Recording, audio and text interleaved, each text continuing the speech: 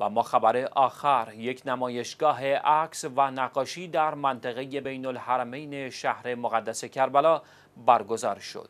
به مناسبت آزادسازی شهر موسل از اشغال گروه تروریستی داعش نمایشگاه عکس و نقاشی با موضوع رشادت های نیروهای مدافع عتبات و مقدسات عراق هشت و شبی در منطقه بین الحرمین شریفین در شهر مقدس کربلا برگزار شد. به گزارش شیعه ویوز حسن حمزه مدیر این نمایشگاه در این باره گفت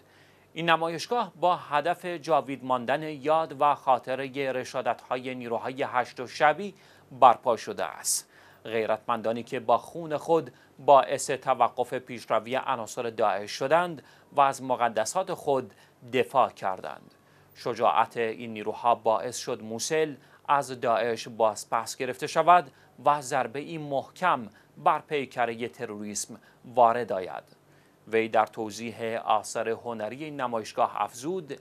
آثار ارائه شده در این نمایشگاه عبارتند از پنجاه تابلوی نقاشی و تابلوی بزرگ که نهزت انتفاضه شعبانیه در دهه 90 میلادی و امتداد آن تا به امروز را به نمایش گذاشته و نیز مجموعی از های مختلف از جبهه های نبرد با عناصر داعش که مردانگی و ابهت نیروهای هشت و شبی را به تصویر کشیده است. گفتنی است در این نمایشگاه مکانی مخصوص نیز برای کسانی که مایل هستند به سلیقه خود صحنه های از نبرد نیروهای عراقی با داعش را به تصویر بکشند اختصاص یافته که با استقبالی چشمگیر مواجه شده است.